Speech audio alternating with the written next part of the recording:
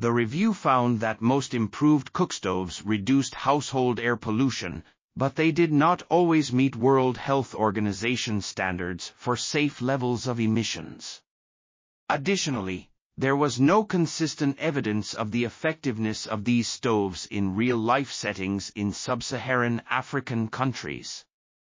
Furthermore, the stoves were often too expensive or unavailable to low-income families.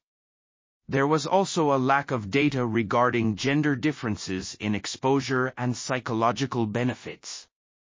To address this issue, future research should focus on detailed reporting of study parameters to facilitate effective comparison of ICS performance in different social settings with different local foods and fuel types.